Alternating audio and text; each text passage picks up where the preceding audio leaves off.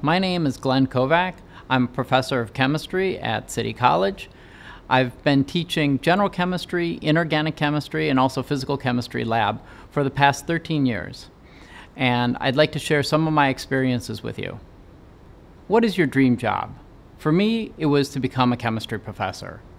For you, perhaps you'd like to go and become a doctor, maybe a pharmacist, maybe a dentist. Maybe you'd like to become a laboratory technician or do some work as an environmental scientist. No matter what area you choose, all of these are related to chemistry. If you pursue a degree as a chemistry major, then perhaps you will land your dream job. There are four different concentrations that you may pursue.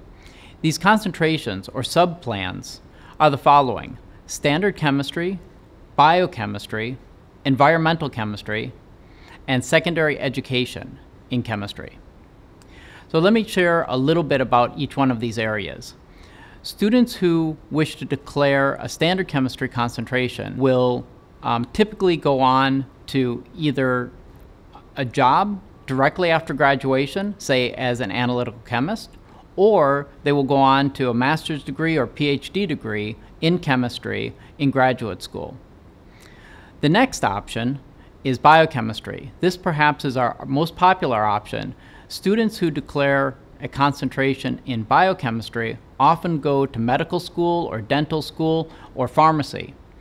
Or these students uh, will choose a PhD in biochemistry. We have the two other concentrations, environmental chemistry. This is actually an exciting area. We have many of the students from City College who will go and get jobs with the Department of Environmental Protection. Um, and this would be a very good option to choose for that career path.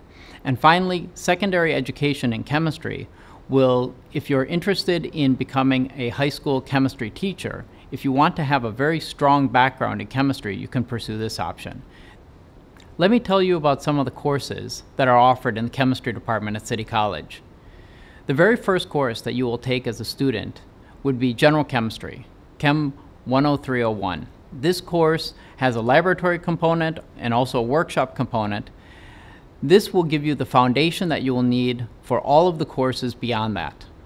After you complete the first semester of General Chemistry, we have a second semester of General Chemistry. These two courses are typically taken your first year when you first come to City College. Afterwards, there's a course in quantitative analysis or analytical chemistry. This course is taken by chemical engineers and also chemistry majors. For students who are interested in pre-med and you would choose the biochemistry option, then the courses after general chemistry would be organic chemistry 1 and 2. Then you will go on and you would take courses in physical chemistry and physical biochemistry in addition to taking biochemistry. So some of your semesters, you will be taking two chemistry lecture courses simultaneously.